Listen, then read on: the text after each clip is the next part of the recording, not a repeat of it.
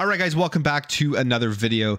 Lots to talk about today as we are getting closer to the summer showcase timeframe where we have all of the rumors popping up before we get the actual showcases. We know that Ubisoft Forward is happening in June. We know Xbox will be doing their own showcase. And now we're getting more information as to kind of what we can expect from that showcase. And it is extremely exciting. But before we jump into this any further, if you are new here, make sure to hit that subscribe button. If you have been watching for a while and aren't subscribed, I would appreciate hitting the subscribe button to help the channel grow. I do make daily gaming content. So if you like that stuff, if you like this video, hit the subscribe, hit the like, and all of that good stuff. But let's start off here and let's talk about the upcoming Xbox showcase. So, we've been hearing many rumors, many things going around, and now we kind of are getting a glimpse as to what we can expect from this showcase and the date that it will be happening. This here comes via The Verge saying, as the Xbox strategy continues to evolve inside Microsoft and Choudhry's departure triggers more shakeups, Microsoft is in the middle of planning for its big summer Xbox showcase. And as we know, last week Kareem Choudhry left, which he it came out later that he was retiring and he was a huge part of Xbox, a part of some of their biggest advancements with like cloud gaming with the release of their their major consoles and stuff. So it was definitely a loss that they're going to have to fill in those shoes. And then we also heard Sarah Bond send out an email internally about the future of Xbox and a new team that is coming up for game preservation and just kind of what they are looking forward to doing with Xbox. And it all sounds very, very exciting. So it does seem like Xbox is going in the right direction. It does seem like they are in good hands if you are a fan of the way that they are handling their ecosystem. And all of the future is going to be on display on June 9th. As it says here, I understand that this is set to take place on Sunday, June 9th, and Microsoft is currently planning to announce a new Gears of War game at the show.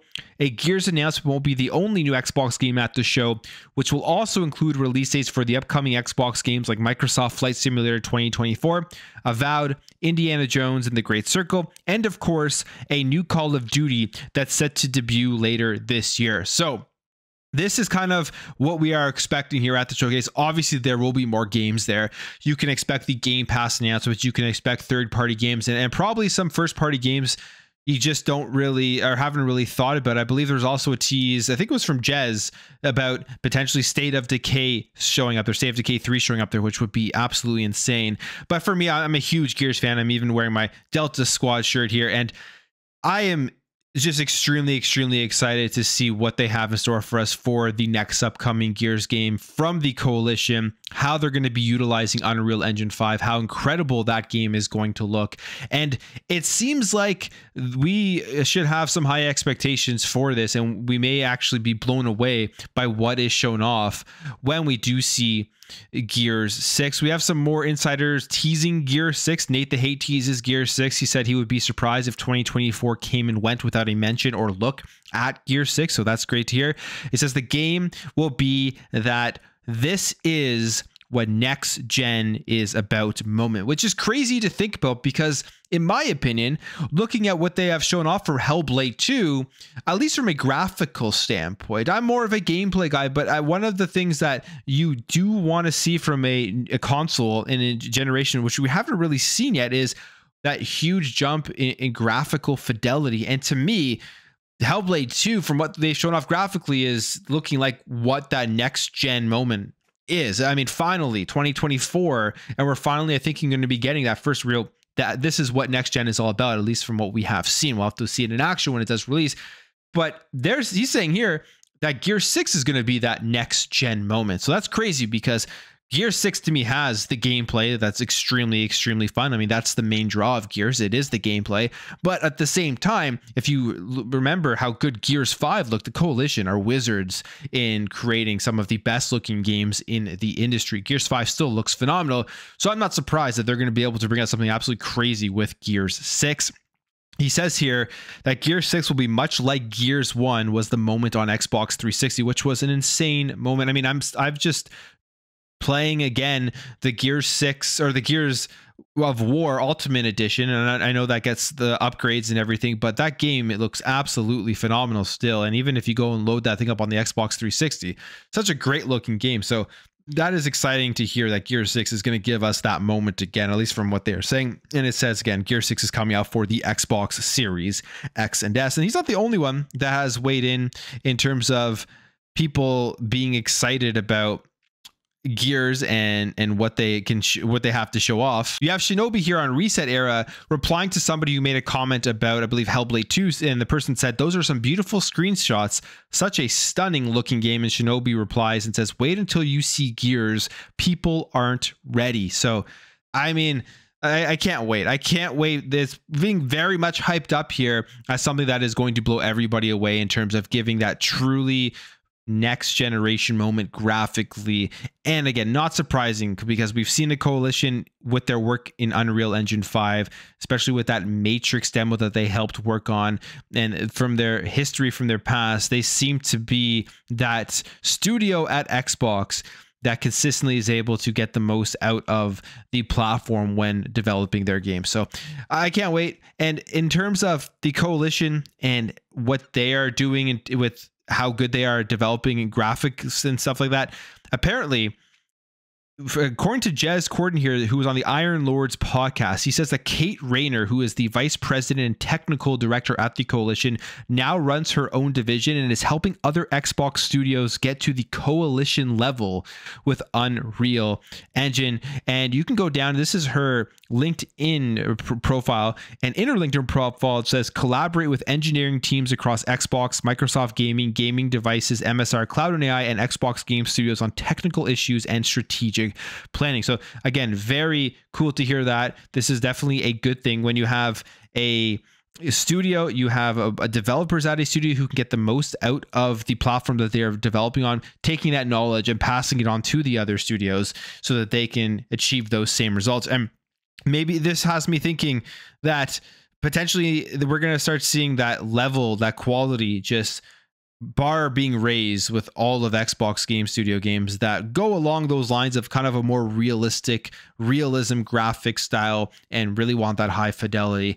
I think we're going to see a lot more of that output here from Xbox Game Studios if what we, are hearing here is actually true. So then uh, you have to also think about then there's that trade-off, right? About we've just heard all about the FPS debates going back and forth 30 FPS versus 60 FPS. And if you really want the most insane fidelity, at least on these current consoles, there may have to be some compromise there in terms of the frames per second. So we will see, but I am excited to see what we're going to get out of Gear 6 from the coalition and what we're going to get out of this upcoming Xbox June showcase. It should be a pretty incredible showcase. And another game that looks like we're going to be seeing at the showcase is the upcoming Call of Duty Black Ops Gulf War.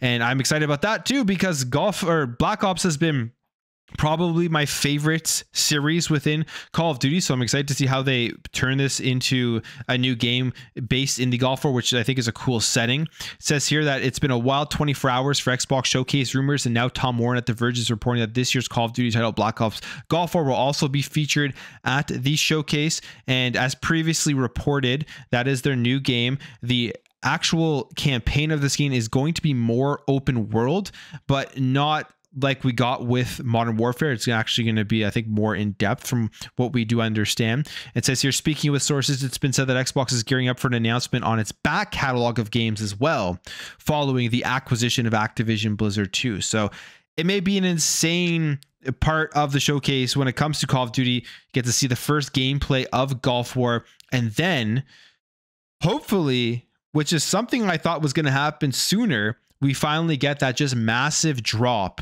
of older Call of Duty games into Xbox Game Pass. We know that Xbox did go back, they did open up the server so you could play the older Call of Duties if you were to purchase them. They put the games on sale as well, and a lot of people were jumping in and playing all of the older Call of Duties. And then we're expecting them to drop this on Xbox Game Pass. So we'll have tons of people jumping in right away into these games to kind of revitalize those servers and get us back to the golden age of Call of Duty, back when I think Call of Duty was the best in around 2008, 2009, 2010, 2011. Like those were the great years of Call of Duty. And especially when you have millions of people instantly going to have access to it from these subscription servers, I think we'll, we'll see those servers revitalized even more. So very cool. Lots of great stuff to look forward to when it comes to Xbox this year and when it comes to their upcoming showcase in June. But let's jump over here. Let's talk about a very interesting claim here from the infamous Michael Pachter. And he's talking about Xbox Game Pass. We know that Xbox Game Pass, from their last official announcement, was that they had 34 million subscribers. And in that announcement, Xbox did confirm that that 34 million subscribers included their Xbox Game Pass core members. And a lot of people are wondering, well, that number seems relatively low because they had like 50 million Xbox Live subscribers. So how do they only have 34 million core members? Did they really lose that many people when transferring over to core? Well, Michael Pachter seems to think that the reporting was just simply a mistake and that Xbox Game Pass will reach over 200 million subscribers in the next 10 years. He says this is what it says. Gaming analyst Michael Pachter believes that Xbox Game Pass will reach over 200 million subscribers in the next 10 years. Pachter also highlighted what he says is a common misconception regarding Xbox Game Pass subscriber numbers. Says here that Pachter believes Xbox will continue to thrive going into the future, namely its Game Pass subscription service. In Pachter's latest episode of Pachter Factor posted to YouTube, he stated that Game Pass will reach 200 million subscribers within the next decade, citing Xbox's complete commitment to its success as a partial reason. He also said that the previous claims of Xbox counting gold members, now called Game Pass Core, as Game Pass subscribers are false, and that Xbox's total subscriber count for Game Pass does not include gold or core individuals. So it's an interesting take because these numbers came directly from Xbox. I'm not sure why they would report a lower number if that was the case, or maybe they simply just made a mistake, or maybe they've decided to kind of still break up these subscribers and when determining how they report their overall Game Pass subscribers. Maybe they look on activity. Like I'm not sure what they would do or how they would do it. But you think if you're Xbox, you put Game Pass Core in there to take over for Xbox Live Gold. The reason you do that is so that you can report just massive numbers for the actual Game Pass subscriber numbers. Either way, Game Pass is successful. Phil Spencer has said it multiple times is profitable, sustainable, all those types of things. But 200 million subscribers in the next 10 years if Game Pass were to hit that, that would be absolutely insane. So it's a lofty prediction, but we will see. Game Pass is growing and they're getting more games into it. And once the ABK games start dropping, once Call of Duty starts dropping in there, I think it will definitely make the subscribers grow faster than it is right now.